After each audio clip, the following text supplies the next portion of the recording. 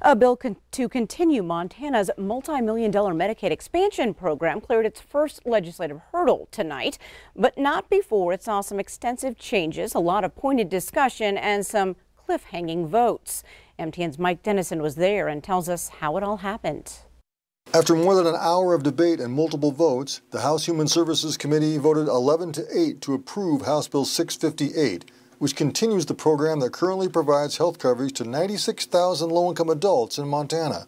The big change in the bill, sponsored by Republican Representative Ed Buttrey of Great Falls, is a form of work requirements to be eligible for the benefit. Buttrey told MTN News after the vote that he believes the requirement won't cause thousands of people to be removed from the program. We're pretty famous for our Montana made solutions, especially in healthcare.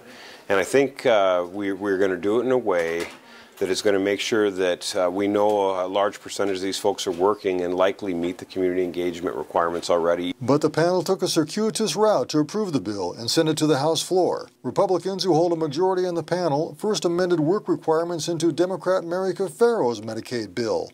We're talking about the 34 year old who is sitting on the couch playing video games, okay, um, is now depressed because not getting enough sleep because they play too long, not eating correctly, and not exercising, not socializing, but yet can draw Medicaid. Yet Democrats on the panel then moved to kill Caferro's bill, saying they couldn't support the work requirements, and Republicans agreed. That left the committee with only Buttrey's bill, which Democrats then revealed they would support after some of its requirements were softened. I think we recognize that the political context changed, and there's 96,000 people who are anxious watching what we're going to do in this building and wondering whether they're going to have health insurance in July. Conservative Republicans on the panel, however, said the bill had been changed too much, although they knew it had the votes to pass.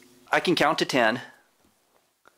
I can I've been sitting here just like all of you and I can see where this is going to go.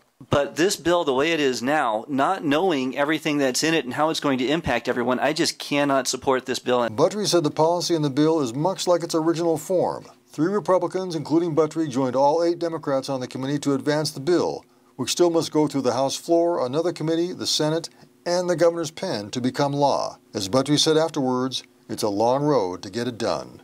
Reporting from Helena, Mike Dennison, MTN News. Thanks, Mike. Now, Medicaid expansion is set to expire in Montana this June unless lawmakers vote to extend it.